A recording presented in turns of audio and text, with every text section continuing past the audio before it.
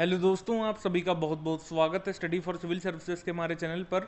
आज हम लोग पार्ट नंबर फोर करेंगे brief history of modern India पर हमारी सीरीज़ चल रही है। चैप्टर वाइज एमसीक्यूज की उसको यहाँ पर आगे बढ़ाएँगे। पार्ट नंबर फोर है ये।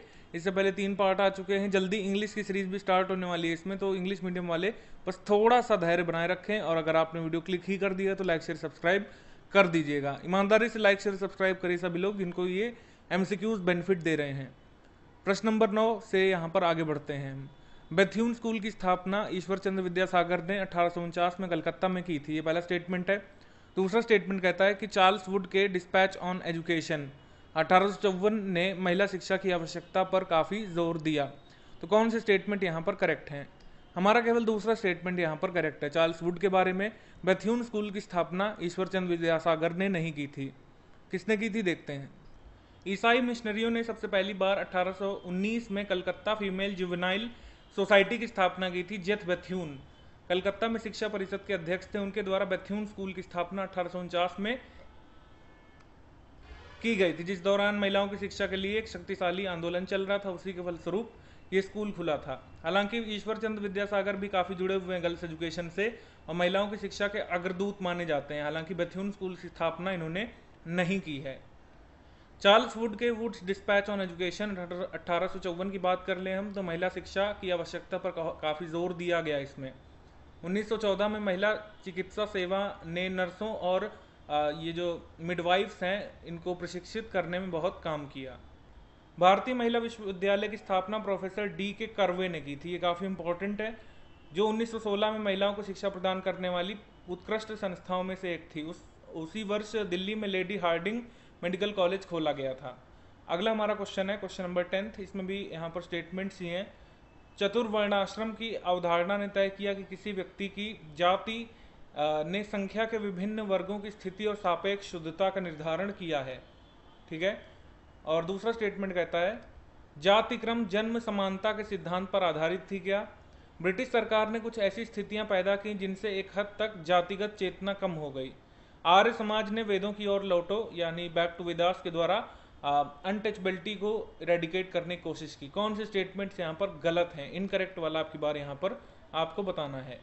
Which of the following statements are incorrect तो इसमें से दूसरा और चौथा इनकरेक्ट है। ये वाला इनकरेक्ट है यहाँ पर, और ये वाला इनकरेक्ट है। इनका एक्सप्लेनेशन देख लेते हैं हम लोग। हिंदू चतुर्वर्णाश्रम की अवधारणा ने तय किया कि किसी व्यक्ति की जाति ने विभिन्न वर्गों की स्थिति और सापेक्ष शुद्धता का निर्धारण किया है। ये जाति थी जो ये निर्धारित करती थी कि किस व्यक्ति को भू संपत्ति का अधिकार है या नहीं, किसे शिक्षा का अधिकार है, किसको भूमि का मालिक बनाया जा सकता है, कौन क्या काम करेगा, कौन निचला काम करेगा, कौन ऊँचा काम करेगा, कौन कौन एक दूसरे के साथ भोजन कर सकते हैं, कौन कौन एक दूसरे के साथ विवाह कर सकते हैं, सब कुछ तय किया जाएगा जाति के आधार पर। तो कथन एक सही है। दूसरा है, जाति की भेदभावपूर्ण संस्था द्वारा सबसे ज़्यादा नुकसान अछूतों या अनुसूचित जाति के दलितों को हुआ था, जैसा कि उन्हें बाद में अछूत कहा गया था, दलित। उन पर लगाई गई अक्षमताएँ अपमानजनक, अमानवीय थी, उनके साथ कोई विवाह नहीं करना चाहता था, ऊँचे वर्ण का, उनको पानी नहीं भरने देते थे, वैसे सब लोग आप जानते हैं तो कथन दो यहाँ पर गलत है। जाति आधारित भेदभाव को कम करने वाले कारक कौन कौन से थे? ब्रिटिश शासन ने मतलब अनइंटेंशनली बिना किसी इरादे के, बिना सोचे समझे कुछ ऐसी परिस्थितियाँ पैदा की जिसने एक हद तक जातिगत चेतना को कम किया। यानी कि अगर आप देखें तो चाहे आप सामाजिक आंदोलन देखें बाद में, चाहे आप ट्रेनों को चलना देखें, ज़्यादातर लोग ट्रेन में एक साथ सफ़र करते थे, किसी भी जाति वर्ग के हों तो उनमें थोड़ा सा मतलब जो दूरियाँ थी वो कम हो रही थी अनइंटेंशनली सामाजिक सुधार आंदोलन ने भी जाति आधारित शोषण को काफ़ी हद तक कम किया था। राष्ट्रीय आंदोलन ने समाज को विभाजित करने की प्रवृत्ति रखने वाली ताकतों के खिलाफ लड़ने के लिए स्वतंत्रता और समानता के सिद्धांतों से प्रेरणा ली। शिक्षा और सामान्य जागृति के बढ़ते अवसरों के साथ स्वयं निम्न जातियों में हलचल बढ़ी, वे जागृत हुए अपने अधिकारों के लिए और सजग भी हुए। आर्य समाज ने हिंदू समाज के असंख्य उपजातियों के बंटवारे का विरोध करते हुए इसे मूल चार विभाजन पर फिर से संगठित करने का लक्ष्य रखा था। इस वजह से स्टेटमेंट नंबर फोर सही है। हमारा अगला क्वेश्चन है यहाँ पर कि सतनामी आंदोलन के संबंध में निम्नलिखित कथनों पर विचार करना है। घासीदास ने छत्तीसगढ़ में सतनामी समुदाय की स्थापना की थी। ये पहला स्टेटमेंट दूसरा स्टेटमेंट है, हाशिए पर, यानी जो आपकी सब्जिगेटेड कास्ट थी और आपके समुदाय थे, उनके लिए सामाजिक न्याय की लड़ाई थी ये, ठीक है? ये सतनामी आंदोलन ने की थी। ग्रामीण भारत में सती प्रथा और विधवा उत्पीड़न को रोकना इनका लक्ष्य था। क्या ये स्टेटमेंट सही है? कौन सा कौन से स्टेटमेंट्स यहाँ पर सही हैं? One and two only are correct Ghasidas ने छत्तीसगढ़ में सतनामी समुदाय की स्थापना की थी, ये सही है। और हाशिए पर की जातियों और समुदायों के लिए सामाजिक न्याय की लड़ाई इन लोगों ने की थी। ठीक है? अब देखते हैं हम कुछ फैक्ट्स इस आंदोलन के बारे में, घासीदास के बारे में। घासीदास ने छत्तीसगढ़ में सतनाम, जिसका अर्थ सत्य होता है और समानता, और भारत में सतनामी समुदाय की स्थापना की थी। घासीदास ने और एक धार्मिक सामाजिक आदेश को उकसाया था, जिसने समाज से पदानुक्रमिक जाति व्यवस्था को ध्वस्त करने में मदद की थी। ये आदेश, या फिर कह सकते हैं, अवधारणा, आइडियोलॉजी घासीदास फॉलो कर रहे थे और सत्तामियों के माध्यम से उन्होंने उसका प्रोपोगेशन शुरू किया। सिद्धांतों से सभी लोगों को समान माना। सतनामी सिद्धांत में कहा गया है कि केवल एक ईश्वर है, उसी जिसे निराकार और अनंत रूप में उन्होंने वर्णित किया है। ठीक है? एक गॉड है और वो अनंत है, वो सुप्रीम है, ये सब उसमें बताया गया है। घासीदास का विचार था कि सामाजिक अन्याय और असमानता के उन्मूलन के उपाय व्यक्ति के उचित परिवर्तन और आंतरिक परिवर्तन के बिना संभव नहीं है। ठीक है? अगला क्वेश्चन देखते हैं हम। हिंदू कॉलेज कलकत्ता के बारे में, अब हमको स्टेटमेंट्स देखने हैं। पहला स्टेटमेंट कहता है द हिंदू कॉलेज के बारे में। राम मोहन रॉय ने हिंदू कॉलेज की स्थापना की थी क्या? बाद में इनको राजा टाइटल मिला था बात की बात है। The Hindu college of Calcutta ने बंगाल में आंदोलनों को आधुनिक बनाने में महत्वपूर्ण भूमिका निभाई थी। क्या कौन सा स्टेटमेंट यहाँ पर सही है या नहीं? तो करेक्ट नॉट करेक्ट दोनों चीज़ें यहाँ पर। यहाँ पर केवल ये वाला स्टेटमेंट सही है सेकेंड वाला फ़र्स्ट वाला इनकरेक्ट है, ठीक है? Option number B is correct only second statement is correct first वाला इनकरेक्ट है। राम मोहन रॉय ने हिंदू कॉलेज की स्थापना नहीं की थी। The Hindu college of Calcutta Bengal में आंदोलनों को आधुनिक बनाने में महत्वपूर्ण कार्य करता था। अब यहाँ पर देखते हैं कि असल में स्थापना किसने की? राजा राम मोहन रॉय ने अपने देशवासियों को आधुनिक शिक्षा के लाभों का प्रसार करने के लिए काफ़ी प्रयास किए। उन्होंने द हिंदू कॉलेज की स्थापना के लिए डेविड हरे के प्रयासों का समर्थन किया, लेकिन उन्होंने स्थापना नहीं करी थी। उन्होंने खुद इसको स्थापित नहीं किया। देखिए, यहाँ पर लिखा भी हुआ है, स्पेक्ट्रम में भी लिखा हुआ है, कथन एक गलत है। अगर आपसे पूछे कि किसने स्थापना करी करी है हिंदू कॉलेज कलकत्ता की तो आप लिखेंगे डेविड हरे ना कि राजा राम मोहन रॉय राजा राम मोहन रॉय ने अंग्रेज़ी स्कूल से मैकेनिक्स और वोल्टेयर के दर्शन को पढ़ाया था, ठीक है? अंग्रेज़ी में। युवा बंगाल आंदोलन के बारे में निम्नलिखित कथनों पर विचार करना है। जो यंग बंगाल मूवमेंट था, इसने सभी पतनशील पुरानी सामाजिक परंपराओं और रीति रिवाजों का मज़ाक उड़ाया था। ये पहला है। 1831 में द हिंदू कॉलेज, मैं द हिंदू बोल रहा हूँ, ये हिंदू कॉलेज ही है। हिंदू कॉलेज से डिरोजियो की बर्खास्तगी और उसकी अचानक मृत्यु के बाद यंग बंगाल आंदोलन समाप्त हो गया था। ये सेकेंड स्टेटमेंट है। अब which of the following statements are correct कौन सा स्टेटमेंट यहाँ पर करेक्ट है, हमको बताना है। यहाँ पर करेक्ट है सी यानी कि फ़र्स्ट और सेकंड यहाँ पर करेक्ट है। ये वाला करेक्ट है और ये वाला करेक्ट है। डिरोजियो का बंगाली समाज पर एक दीर्घकालिक प्रभाव था, ये इनकरेक्ट है। तो देखते हैं कुछ एक्सप्लेनेशन क्यों दीर्घकालिक हम प्रभाव नहीं मानते हैं। और बाकी दोनों स्टेटमेंट क्यों करेक्ट हैं? हम यंग बंगाल मूवमेंट के बारे में बात कर लेते हैं। एक एंग्लो इंडियन थे युवा हैंनरी विवियन डिरोजियो ठीक है? उन्होंने 1826 से लेकर 1831 तक द हिंदू कॉलेज में पढ़ाया था एज अ प्रोफेसर और प्रगतिशील प्रवृत्ति के नेता और प्रेरक थे, जो थिंकर टाइप के लोग होते हैं। महान फ्रांसीसी क्रांति से उन्होंने प्रेरणा ली थी। डिरोजियो ने अपने विद्यार्थियों को स्वतंत्र और तर्क संगत रूप से सोचने के लिए, सभी प्राधिकरणों सवाल करने के लिए और प्रेम और समानता और स्वतंत्रता, यानी कि जो फ्रेंच रिवोल्यूशन के जो सिद्धांत थे, उनको यहाँ पर प्रेरणा स्रोत बनाया था। पतनशील रीति रिवाज रूढ़िवादियाँ और परंपराओं का विरोध करने के लिए अपने स्टूडेंट्स को उकसाया था। इस वजह से कथन नंबर एक सही है। हालाँकि डिरोजियो का एक दीर्घकालिक प्रभाव इसलिए नहीं था क्योंकि कट्टरपंथ के कारण 1831 में डिरोजियो को हटा दिया गया था। ठीक है? तो केवल पाँच साल तक का उनका कार्यकाल रहा तो एक दीर्घकालिक हम लोग नहीं कह सकते हैं। क्वेश्चन नंबर सेवनटीन यहाँ पर अब देखते हैं हम। क्वेश्चन नंबर सेवनटीन है, क्या डिरोजियो के पत डिरोजियो के पतन का क्या कारण था? अच्छा एक चीज़ ध्यान रखिएगा कि जो डिरोजियो के जो समर्थक थे, उनको डिरोजियंस कहते हैं। ठीक है? तो डिरोजियंस के पतन का क्या कारण था? ये क्वेश्चन है। उस समय की सामाजिक परिस्थितियाँ कारण थी डिरोजियंस के पतन का। किसी अन्य सामाजिक समूह या वर्ग का समर्थन ना मिलना कारण था डिरोजियंस के फॉल का। जनता के साथ किसी भी प्रकार के वास्तविक जुड़ाव का अभाव होना था या नेतृत्व की कमी। तो कौन से स्टेटमेंट्स यहाँ पर सही है? फॉल ऑफ़ डिरोजियो के। तो यहाँ पर सारे स्टेटमेंट करेक्ट हैं कि अगर फॉल ऑफ़ डिरोजियंस के बारे में बात करें तो चारों ही कारण थे। उस समय की सामाजिक परिस्थितियाँ, किसी अन्य समूह या वर्ग का समर्थन न मिल पाना, कुछ ही लोगों का साथ होना और जनता के साथ जुड़ाव ना होना जनता उनकी आइडियोलॉजीज को नहीं फॉलो कर पा रही थी और एक सशक्त नेता की कमी डिरोजियंस दीर्घकालीन प्रभाव डालने में विफल रहे थे। 1831 में कट्टरपंथ के कारण डिरोजियो को हटा दिया गया था। ठीक है? सफलता का कारण क्या था कि उस समय सामाजिक परिस्थितियों को रोकना जो कट्टरपंथी विचारों को अपनाने में पके आ, मतलब मैच्योर नहीं थे। आगे किसी अन्य सामाजिक समूह या वर्ग का उनको समर्थन नहीं मिला इस वजह से फेल हुआ। डिरोजियंस के पास जनता के साथ किसी भी वास्तविक जुड़ाव का अभाव था। जैसे मान लीजिए कि डिरोजियंस की जो भी आइडियोलॉजी है, वो किसानों की किसी प्रकार से मदद नहीं कर सकती थी उस समय। इस वजह से ये फाइनली आइडियोलॉजी उनकी फेल हो गई। कट्टरपंथ किताबी चरित्र का था केवल, यानी कि बुकिश था, उसको प्रैक्टिकल प्रैग्मेटिक लाइफ में इम्प्लीमेंट नहीं करा जा सकता था। ब्रह्म समाज के बारे में अब हमको कथनों पर विचार करना है। ब्रह्म समाज के बारे में कौन सा स्टेटमेंट यहाँ पर करेक्ट है? पहला ब्रह्म समाज, जिसे पहले ब्रह्म सभा के नाम से जाना जाता था, इसने सार्वभौमिक भाईचारे पर ज़ोर दिया। इसने बहुवेदवाद और मूर्ति पूजा का विरोध किया। उपनिषदों का वाचन, प्रार्थना और ध्यान पूजा के रूप हुआ करते थे। ब्रह्म समाज में क्या? इसने अन्य धर्म की शिक्षाओं को शामिल किया और खुद को एक नए धर्म के रूप में स्थापित किया। तो कौन सा स्टेटमेंट यहाँ पर ब्रह्म समाज के बारे में करेक्ट हो सकता है? यहाँ पर करेक्ट है हमारा ऑप्शन नंबर बी यानी कि वन टू थ्री यहाँ पर करेक्ट है। ये करेक्ट स्टेटमेंट है यहाँ पर। ये करेक्ट है और ये करेक्ट है। तीन स्टेटमेंट यहाँ पर करेक्ट है चौथा यहाँ पर इनकरेक्ट है। तो इसका एक्सप्लेनेशन देख लेते हैं थोड़ा सा जानते हैं।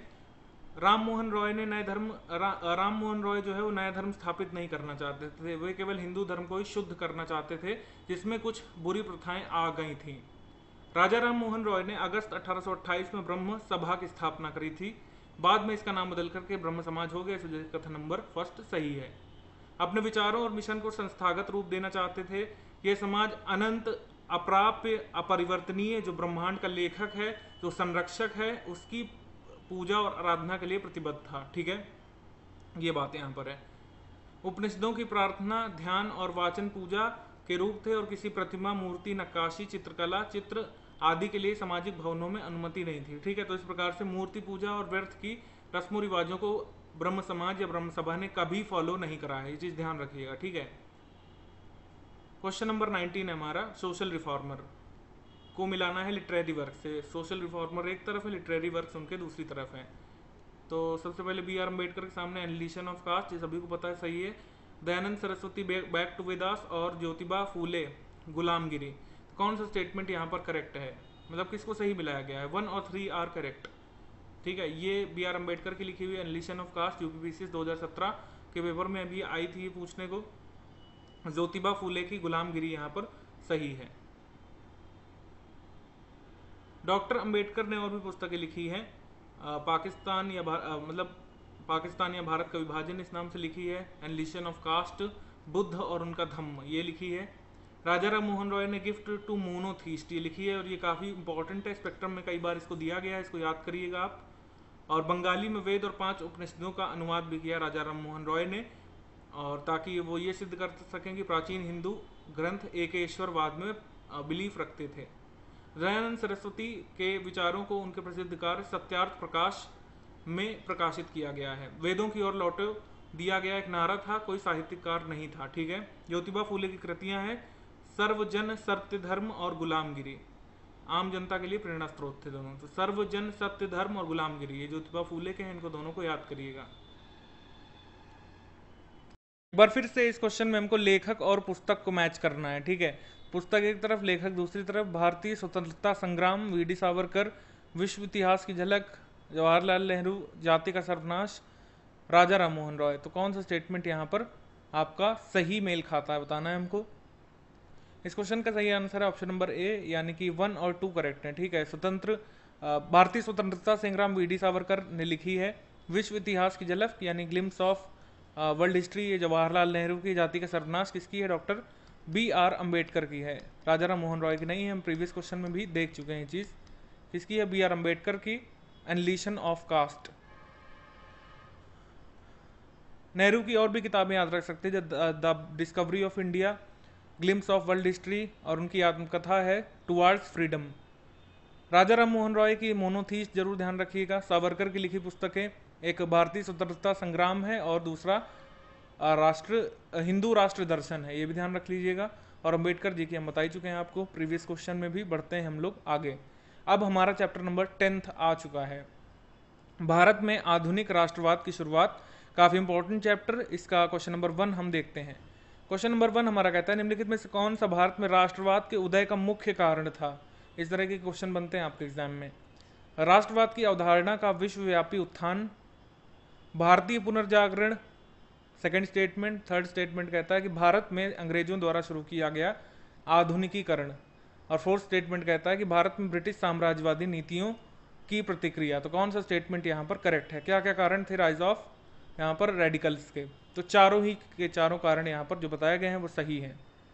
राष्ट्रवाद इसलिए उदय हुआ था, राष्ट्रवाद की अवधारणा का विश्वव्यापी उत्थान होने के कारण भारतीय पुनर्जागरण भारत में अंग्रेज़ों द्वारा शुरू किया गया आधुनिकीकरण, ये भी कारण था, और साम्राज्यवादी नीतियों के प्रति, प्रतिक्रिया भी, बाकी सब चीज़ें यहाँ पर लिखी हुई हैं। भारतीय राष्ट्रवाद आंशिक रूप से औपनिवेशिक नीतियों के परिणाम स्वरूप बढ़ा था और आंशिक रूप से औपनिवेशिक नीतियों की प्रतिक्रिया के रूप में, ठीक है? विभिन्न कारकों के मिश्रण के उत्पाद के रूप में राष्ट्रीयवाद कुछ इस तरीके से आगे आया था। मतलब शुरुआत इसकी हुई थी विश्वव्यापी राष्ट्रवाद की अवधारणा, स्वनिर्धारण के सिद्धांत स्वनिर्धारण के अधिकार की फ्रांसीसी क्रांति की शुरुआत। तो फ्रेंच रिवोल्यूशन का भी असर था, भारतीय पुनर्जागरण भारत में अंग्रेज़ों द्वारा शुरू किए गए आधुनिकीकरण के जो भी चीज़ें चल रही थी प्रोग्राम्स वो खुद भी और भारत में ब्रिटिश साम्राज्यवादी नीतियों की कड़ी प्रतिक्रिया। अब अगला स्टेटमेंट अगला क्वेश्चन हम लोग देखते हैं। क्वेश्चन नंबर सेकंड है हमारा।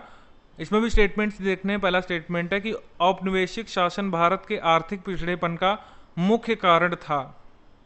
अगला स्टेटमेंट कहता है कि ब्रिटिश भारत ने ब्रिटिश भारत, ब्रिटिश शासन ने भारत में राजनीतिक एकता लागू की। थर्ड स्टेटमेंट कहता है कि भारतीय प्रांत अप्रत्यक्ष ब्रिटिश शासन के अधीन थे। रियासतें प्रत्यक्ष ब्रिटिश शासन के अधीन थी। कौन सा स्टेटमेंट यहाँ पर करेक्ट है? Which of the following statements are correct यहाँ पर बताना है। स्टेटमेंट नंबर वन और स्टेटमेंट नंबर टू यहाँ पर करेक्ट है, ठीक है? और थर्ड स्टेटमेंट यहाँ पर इनकरेक्ट है। थर्ड स्टेटमेंट हमारा इनकरेक्ट इसलिए है क्योंकि भारत के बड़े क्षेत्रों को पूर्व में ही एक ही शासन के तहत लाया गया था। मौर्यों के अधीन या मुगलों के बाद मुगलों के अधीन के, होने के बाद भारत में अंग्रेज़ों ने एक बड़ा साम्राज्य स्थापित कर लिया था। मुगलों या मौर्य साम्राज्य से भी बड़ा कह सकते हैं हम। जबकि भारतीय प्रांत प्रत्यक्ष ब्रिटिश शासन के अधीन थे, रियासतें इसके अप्रत्यक्ष ब्रिटिश शासन के अधीन थी, इसलिए कथन नंबर थ्री गलत है हमारा, ये इनकरेक्ट है। अगला क्वेश्चन हम देखते हैं क्वेश्चन नंबर थर्ड है हमारा। निम्नलिखित में से क्या ब्रिटिश भारत का योगदान नहीं था? एक पेशेवर सिविल सेवा का उदय क्या ब्रिटिश भारत ने दिया था? भारत की राजनीतिक एकता क्या थी? ये तो बिल्कुल नहीं होगा। भारत में सांस्कृतिक एकता, ये क्या हो सकता है? पंचायती राज। तो बताइए कौन सा स्टेटमेंट यहाँ पर करेक्ट है? क्या योगदान नहीं था? ऑप्शन नंबर बी यहाँ पर सही है। तीसरा और चौथा जो है पॉइंट ये ब्रिटिशर्स का योगदान नहीं था, ठीक है? थर्ड और फोर्थ ये योगदान नहीं था, ये वाले थे। तो भारत में सांस्कृतिक एकता, ये तो ब्रिटिशर सोच भी नहीं सकते और पंचायती राज तो काफ़ी लेट आया था, आज़ादी के बाद से। ब्रिटिश शासन ने भारत में राजनीतिक एकता लागू की थी, ये कह सकते हैं। एक पेशेवर सिविल सेवा, एक एकीकृत न्यायपालिका और पूरे देश में एक समान नागरिक और आपराधिक कानून सदियों से भारत में अब तक मौजूद रही सांस्कृतिक एकता के लिए राजनीतिक एकता के आयाम स्थापित करता हुआ आ रहा है। इस वजह से वन और टू हम सही मानेंगे। प्रशासनिक सुविधा की आवश्यकता, सैन्य रक्षा के विचार और आर्थिक पैठ और वाणिज्यिक शोषण के लिए आग्रह, सभी ब्रिटिश हितों में परिवहन और संचार के आधुनिक साधनों जैसे रेलवे, सड़क, बिजली, टेलीग्राफ, नियोजित विकास, ड्राइविंग फोर्स थे। ठीक है? मतलब क्यों ब्रिटिशर्स ने किया? अपने फ़ायदे के लिए। यानी कि सभी ब्रिटिश हितों में उन्होंने रेलवे, सड़क, बिजली और टेलीग्राफ का काम करवाया था। कथन नंबर तीन और चार गलत हैं। निम्नलिखित में से भारतीयों पर अंग्रेज़ी शिक्षा का क्या प्रभाव पड़ा था? पहला है कि भारतीयों में आध्यात्मिक सोच का प्रसार हुआ था। दूसरा है उदार और कट्टरपंथी पश्चिमी विचारों का प्रसार हुआ था। एक दूसरे के साथ संवाद करने के विभिन्न भाषाई क्षेत्रों को मदद मिली थी। यानी एक दूसरे के साथ संवाद करने में जो अलग अलग क्षेत्र थे रीजन्स उनको हेल्प मिली थी क्या? राष्ट्रीय नेतृत्व प्रदान करने में मदद मिली थी आंदोलन को। तो कौन सा यहाँ पर सही है? यहाँ पर टू थ्री और फोर यहाँ पर करेक्ट है। पहला इनकरेक्ट है। भारतीयों में आध्यात्मिक सोच का प्रसार किसी भी मतलब मतलब कुछ भी ऐसा नहीं हुआ था ब्रिटिश एजुकेशन लेने से कि भारतीयों में आध्यात्मिक सोच का प्रसार हुआ हो।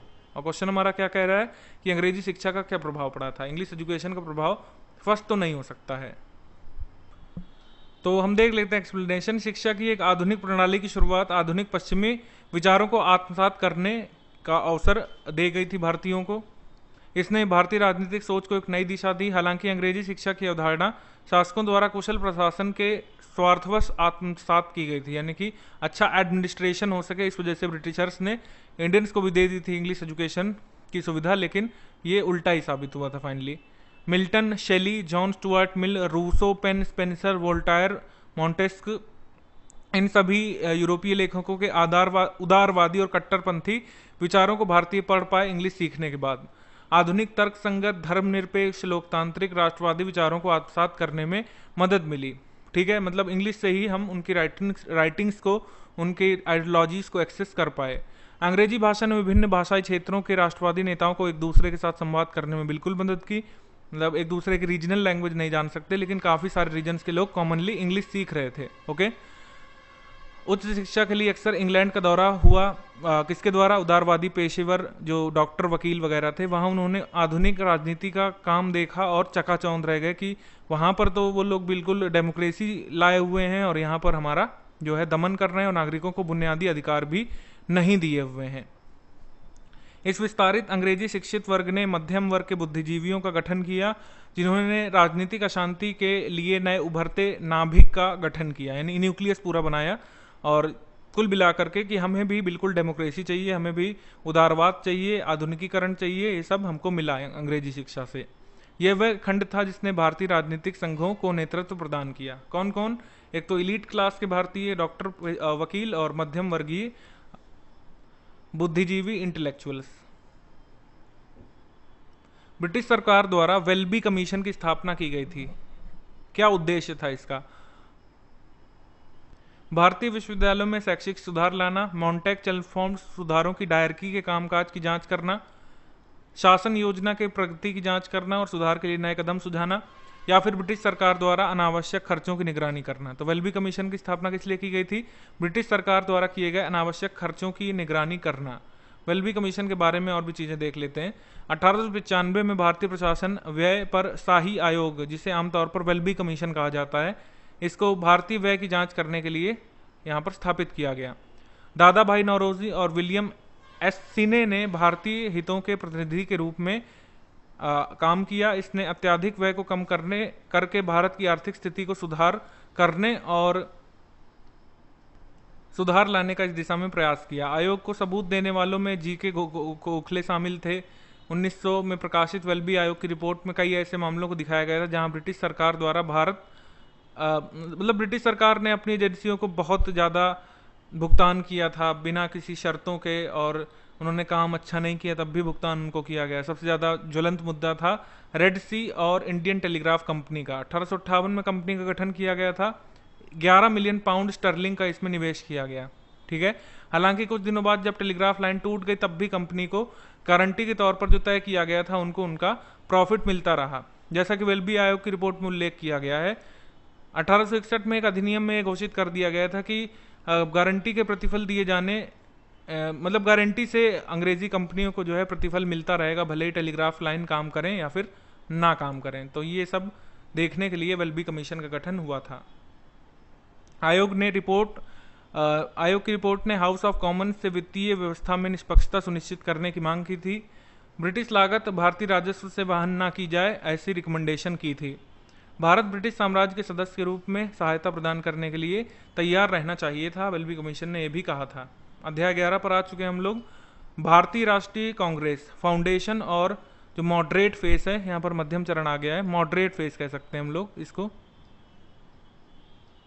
ये चैप्टर रहेगा हमारा। अब इसके एमसीक्यूज हम लोग देखना चालू करते हैं। निम्नलिखित में से क्या भारत से धन की निकासी का कारण था?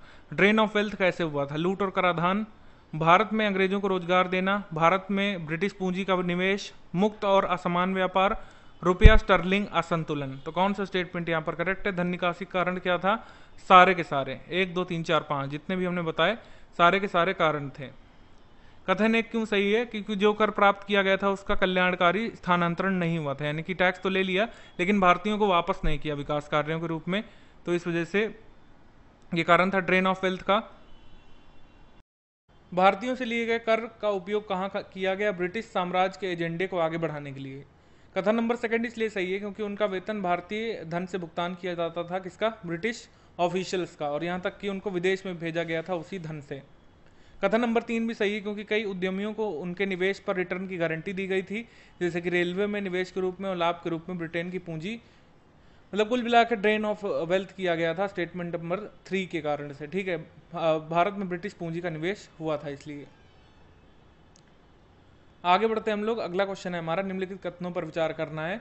डफरिन ने राष्ट्रवादियों को देशद्रोही ब्राह्मण अराजक बाबू कहते हुए कांग्रेस की निंदा की थी क्या? सर सैयद अहमद खान ने कांग्रेस के प्रसारण का मुकाबला करने के लिए यूनाइटेड इंडियन पैट्रियोटिक एसोसिएशन का आयोजन किया था क्या? कौन सा स्टेटमेंट यहाँ पर गलत है बताना है? Which of the following statement are incorrect बताना है आपकी बार? इनकरेक्ट कौन सा है? डी इनकरेक्ट है यहाँ पर। ना तो एक, ना तो दोनों, यानी कि दोनों ही स्टेटमेंट यहाँ पर करेक्ट हैं। डफरिन ने और ब्रिटिश सरकार ने राष्ट्रवादियों को नेशनलिस्ट को देशद्रोही ब्राह्मण बेगारी बाबू कहते हुए कांग्रेस की खुली निंदा की थी और कांग्रेस को देशद्रोह का कारखाना कहा जाता था, यानी फैक्ट्री ऑफ़ सिडिशन कथन एक सही है। बाद में कांग्रेस ने फूट डालो, राज करो की नीति का प्रयोग किया, हमेशा तरह। अधिकारियों ने यूनाइटेड इंडियन पैट्रियोटिक एसोसिएशन को मज़बूत करने के लिए समर्थन किया और कांग्रेस का प्रचार का मुकाबला करने के लिए बनारस के सर सैयद अहमद खान और राजा शिव प्रसाद सिंह जैसे प्रतिक्रियावादी तत्वों को प्रोत्साहित किया। तो इस वजह से कथन नंबर टू भी सही है, नॉट करेक्ट कोई नहीं है। क्वेश्चन नंबर फोर है हमारा। भारतीय राष्ट्रीय सम्मेलन के दो सत्र अठारह सौ तिरासी और अठारह आयोजित किए गए थे, ठीक है? दूसरा है कि सुरेंद्र नाथ बनर्जी और आनंद मोहन बोस भारतीय राष्ट्रीय सम्मेलन के मुख्य वास्तुकार थे। भारतीय राष्ट्रीय कांग्रेस यानी कि आईएनसी का पहला अधिवेशन दिसंबर अठारह में बॉम्बे के गोकुलदास तेजपाल संस्कृत महाविद्यालय में आयोजित किया गया था। क्या? कौन सा सही है यहाँ पर? तीनों स्टेटमेंट यहाँ पर करेक्ट हैं। ठीक है? हम देखते हैं एक्सप्लेनेशन अंग्रेज़ी सिविल सेवक ए ओ ह्यूम के उस समय के प्रमुख बौद्ध ए ओ ह्यूम ने उस समय के प्रमुख बुद्धिजीवियों को संगठित किया और उनके सहयोग से भारतीय राष्ट्रीय कांग्रेस के पहले सत्र का आयोजन बॉम्बे के गोकुलदास तेजपाल संस्कृत कॉलेज में किया गया। ठीक है? कथन नंबर थ्री सही है। प्रस्ताव के रूप में भारतीय राष्ट्रीय सम्मेलन के दो सत्र हुए थे, अठारह और अठारह कांग्रेस से पहले। इसमें भारत के प्रमुख शहरों के सभी प्रतिनिधि शामिल थे। सुरेंद्र नाथ बनर्जी और आनंद मोहन बोस ने कुल मिलाकर के ऑर्गेनाइज करवाया था। इस वजह से इनको चीफ आर्किटेक्ट बोलते हैं इन सम्मेलनों का या फिर मुख्य वास्तुकार। तो कथा नंबर एक और दो भी सही है। क्वेश्चन नंबर थ्री कहता है हमारा कि आधुनिक भारत के इतिहास के संदर्भ में फ्रेजर कमीशन की स्थापना इस प्रकार की गई थी। नागरिक प्रशासन में सुधार के लिए, रियासतों और सर्वोपरि शक्तियों के बीच संबंधों की जाँच करने के लिए इस प्रकार नहीं होगा किस उद्देश्य से की गई थी। ये यहाँ पर होना चाहिए क्वेश्चन किस उद्देश्य से की गई थी? तो उद्देश्य क्या था कि नागरिक प्रशासन में सुधार था क्या? रियासतों और सर्वोपरि शक्ति के बीच संबंधों की जाँच करना था क्या? शिक्षा में सुधार था या पुलिस विभाग में सुधार? तो एक इससे रिलेटेड थी डी, यानी पुलिस विभाग विभाग में सुधार से फ्रेजर कमीशन संबंधित थी। 1902-1903 के करीब लॉर्ड कर्जन द्वारा सर एंड्रयू फ्रेजर के नाम पर फ्रेजर कमीशन का गठन किया गया था। पुलिस सुधारों के लिए एक आयोग था ये। सिविल सेवा में सुधार का सुझाव देने के लिए अठारह सौ छियासी में डफरिन द्वारा एचिसन कमीशन की स्थापना की गई थी, ठीक है? एकिसन कह सकते हैं एचिसन। बटलर आयोग का गठन रियासतों और सर्वोपरि शक्तियों के बीच संबंधों की जाँच करने के लिए किया गया था, ठीक है? अब अगला क्वेश्चन देखते हैं हम। भारतीय राष्ट्रीय सम्मेलन के दो सत्र, अठारह सौ तिरासी, अठारह में आयोजित हुए थे क्या? सुरेंद्र नाथ बनर्जी और अगला क्वेश्चन देखते हैं हम। सॉरी वो हम दोबारा पढ़ने लगे थे। क्वेश्चन नंबर फाइव पर आना है हमको। अपने प्रारंभिक चरण में के दौरान निम्नलिखित में से कौन भारतीय राष्ट्रीय कांग्रेस का उद्देश्य नहीं था? ठीक है, क्या यहाँ पर ऑब्जेक्टिव नहीं था आईएनसी का? एक, भारतीय राष्ट्रवाद को बढ़ावा देना और उसका पोषण करना। एक, उपनिवेशी विरोधी राष्ट्रवादी विचारधारा का विकास करना और प्रचार करना। राजनीतिक और गैर राजनीतिक रूप से लोगों को शिक्षित करना। और समाज में सामाजिक सुधारों को बढ़ावा देना तो क्या था इसका? तो इनिशियली कांग्रेस का कोई ऐसा यहाँ पर मोटिव नहीं था कि सामाजिक सुधारों को बढ़ावा दिया जाएगा, ये सब बाद में हुआ था। कांग्रेस के शुरू के उद्देश्य यहाँ पर बता देते हैं, एक लोकतांत्रिक राष्ट्रवादी आंदोलन प्राप्त करना, लोगों का राजनीतिकरण करना, उन्हें शिक्षित करना, एक आंदोलन के लिए मुख्यालय स्थापित करना, देश के विभिन्न हिस्सों से राष्ट्रवादी राजनीतिक कार्यकर्ताओं के बीच मैत्रीपूर्ण संबंधों को बढ़ावा देना एक उपनिवेशवाद विरोधी राष्ट्रीय विचारधारा का विकास और प्रसार करना, एक आम आर्थिक और राजनीतिक कार्यक्रम पर लोगों को एकजुट करने की दृष्टि से सरकार के सामने लोकप्रिय मांगों को तैयार करना और पेश करना। धर्म, जाति या प्रांत के परे लोगों में राष्ट्रीय एकता की भावना का विकास करना और समेकन करना, उसका भारतीय राष्ट्रवाद का ध्यानपूर्वक प्रचार और पोषण करना, ये सब इनिशियल ऑब्जेक्टिव थे कांग्रेस के, जो कि स्पेक्ट्रम में गिवन है। क्वेश्चन नंबर सिक्स है हमारा कि भारतीय राष्ट्रीय कांग्रेस के नरमपंथियों के संबंध में विचार करना है। ठीक है, इसमें हमको मॉडरेट्स के बारे में विचार करना है। ठीक है? मॉडरेट्स के टर्म में पहला हमारा स्टेटमेंट है। यहाँ पर अभिकथन और रीजन वाला है। ठीक है? असर्शन एंड रीजन असर्शन है, नरमपंथियों का मानना था कि ब्रिटिश लोग भारतीयों के लिए न्यायोचित बनना चाहते थे। कारण इस असर्शन के पीछे है कि नरमपंथियों का मानना था कि ब्रिटिश वास्तविक भारतीय परिस्थितियों से अवगत नहीं थे। तो कौन सा स्टेटमेंट यहाँ पर सही है? बी यहाँ पर सही है कि ए तो सही है, लेकिन आर ए का उपयुक्त तो स्पष्टीकरण नहीं है। ठीक है, बता देते हैं आपको। नरमबंदियों का मानना था कि ब्रिटिश लोग भारतीयों के लिए न्यायोचित बनना चाहते थे। ये है तो सही एकदम, लेकिन ये इसका सही रीज़न नहीं है। ठीक है, ये इसका सही रीज़न नहीं है स्टेटमेंट का। तो यहाँ पर एक्सप्लेनेशन समझते हैं। उदारवादी राजनीतिक गतिविधियों गतिविधि में कानून की सीमाओं के भीतर रहकर संवैधानिक आंदोलन करना शामिल था मॉडरेट्स में। एक धीमी किंतु एक क्रमबद्ध रूप से प्रगतिशील प्रगति उन्हें दिखाई देती थी। मॉडरेट्स को लगता था कि हम धीरे धीरे किसी न किसी करके अंग्रेज़ों को मना लेंगे और हमारे इशूज़ पर वो लोग ध्यान देंगे ही देंगे। माना जाता था कि ब्रिटिश मूल रूप से सिर्फ़ भारतीयों के लिए न्यायोचित बनना चाहते थे, लेकिन वास्तविक परिस्थितियों से अवगत नहीं थे। ठीक है? इसलिए यदि जनमत का निर्माण करके देश और जनता की मांगों को संकल्पों, याचिकाओं, बैठकों आदि के माध्यम से सरकार के सामने प्रस्तुत किया जाए तो अधिकारी धीरे धीरे इन्हें मानने लगेंगे। ठीक है? दोनों ही कथन व्यक्तिगत रूप से सही है, लेकिन कथन नंबर टू जो है, एक का सही स्पष्टीकरण नहीं देता है। चेतना और राष्ट्रीय भावना को जगाने के लिए एक मज़बूत सार्वजनिक राय बनाना और फिर आम राजनीतिक सवालों पर लोगों को शिक्षित और एकजुट करना। ठीक है?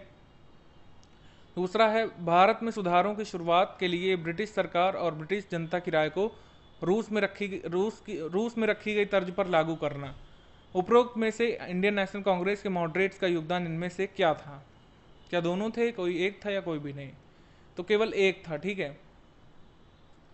चेतना और राष्ट्रीय भावना को जगाने के लिए एक मज़बूत सार्वजनिक राय बनाना और फिर आम राजनीतिक सवालों या मुद्दों पर लोगों को शिक्षित और एकजुट करना। ये था।